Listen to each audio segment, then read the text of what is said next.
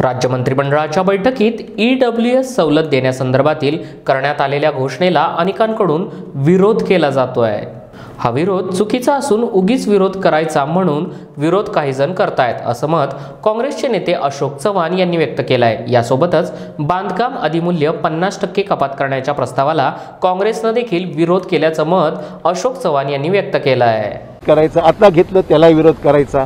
म्हणजे हा सगळा राजकीय खेळ काही मंडळींचा सुरू आहे. आपल्याला कल्पना आहे की सुरुवातीला पहिल्या कॅबिनेटमध्ये ज्यावेळेस ई डब्ल्यू एसच्या सवलती देण्याचा निर्णय झाला तो निर्णय मंत्रिमंडळाने घेतला होता. परंतु त्याला विनायकराव मेटेने विरोध केला खासदार संभाजी राजेंनी विरोध केला आणि काही लोकांनी विरोध केला होता नावं मी सांगा पण आणि म्हणून त्या पार्श्वभूमीवर सर सर मुख्यमंत्री म्हणाले हा सध्या हा विषय स्थगित ठेवा आणि नंतर या बाबतीमध्ये सर्वांचं सार्वमत घेऊन आपण निर्णय घेऊ. आता असं घडलेलं आहे की लोक कोर्टात चाललेले आहेत. म्हणजे बारा ते तेरा केसेसमध्ये उच्च औरंगाबाद खंडपीठाने आणि मुंबई खंडपीठाने निर्णय मुंबईच्या हायकोर्टाने निर्णय घेतला की ज्यांना ई डब्ल्यू एसच्या सवलती हव्या असतील त्या लोकांनी अर्ज केले कोर्टामध्ये. की कायदा असताना तुम्ही आमचं कसं रोखू शकता? आम्हाला ए सी बी सी मिळत नाही. तर किमान आम्हाला ई डब्ल्यू एसच्या सवलती मिळू द्या. अशा प्रकारचे अनेक अर्ज उच्च न्यायालयामध्ये अनेकांनी केले. आणि तशा ऑर्डर्स कोर्टाने बारा ते तेरा केसेसमध्ये केलेल्या आहेत. आता प्रत्येकजण मराठा समाजात कोर्टात जाऊन पैसे खर्च करून वकील लावून उभं राहू शकत नाही ही त्यातली मत मूळ अडचण आहे. आणि त्याचबरोबर कोर्टाने असंही निर्देशित केलेलं आहे की शासनाने आठ तारखेपर्यंत आपलं ॲफिडेव्हिट या संदर्भात दाखल करावं उच्च न्यायालयामध्ये. तिथे अर्ज कोणाचा होता त्याच्या बाबतीमध्ये. तर मुद्दा असं की शासनाला भूमिका पहिली होती घ्यायची. आता कोर्टानेच निर्देश दिले. कोर्टाने दहा बारा केसेसमध्ये ऑर्डर्स काढल्या की यांना ई डब्ल्यू सवलती असतील तर त्यांना एस सी बी सी असेल थांबावं लागेल ई डब्ल्यू ई दोन्ही एक काहीतरी मिळेल. अशा ऑर्डर असताना आणि ॲफिडेविट दाखल करत असताना शासनाचा पर्याय काय उपलब्ध आहे? आणि म्हणून ई डब्ल्यू एसचं जे चॅनल आहे ते उघडं आहे त्याच्यामध्ये अनेक सवलती देण्यासारखी परिस्थिती आहे. आणि म्हणून सरकार काल निर्णय मंत्रिमंडळासमोर आम्ही ठेवला की अशी परिस्थिती आहे. हायकोर्टाचे निर्णय बारा तेरा केसेसमध्ये त्यांच्या बाजूने लागलेले आहेत. आणि हायकोर्टामध्ये पुन्हा आपल्याला ॲफिडेविट दाखल करायचं आहे काय करायचं?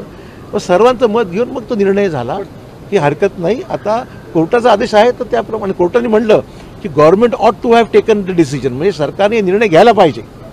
त्याच्यामुळे सरकारवर एकंदरीत ह्या सगळं पाहता निर्णय घेणं बंधनकारक होतं. आणि जे कायद्याने अनुज्ञ आहे ते कायद्याने अनुज्ञ असलेल्या गोष्टी सरकारला रोखणं कठीण आहे. पण शेवटी सरकारने निर्णय घेतला की ज्यांना हे ऐच्छिक आहे ते सुद्धा कंपल्सरी नाही आहे.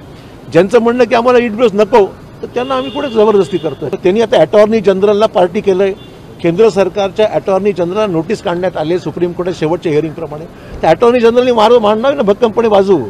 फडणवीसांनी सभागृहात त्या ठिकाणी सांगितलं आम्ही फुलप्रूफ कायदा दिलेला आहे. मग तो फुलप्रूफ कायदा असेल तर त्या कायद्याच्या समर्थनार्थ फक्त बाहेर बोलण्यापेक्षा कोर्टामध्ये फडणवीसांनी त्यांचं सरकार केंद्रामध्ये आहे अटॉर्नी जनरलनी मार मांडणार ना भक्कमपणे बाजू? फडणवीसांनी सभागृहात त्या ठिकाणी सांगितलं आम्ही फुलप्रूफ कायदा दिलेला आहे.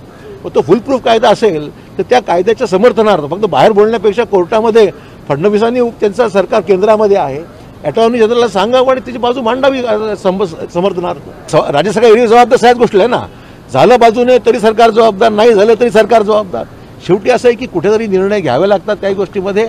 आम्हाला मराठा आरक्षण टिकलं पाहिजे हीच आमची प्रामाणिक भूमिका आहे. आणि त्या दृष्टिकोनातून आम्ही सर्वोच्च न्यायालयामध्ये हा सगळी सगळी बाजू लावून घेण्याकरता पंचवीस ते चोवीस तार पंचवीस तारखेला जी सुनावणी होणार आहे त्याची पूर्वतयारी आम्ही करत आहोत त्याची पूर्ण तयारी होत आहे.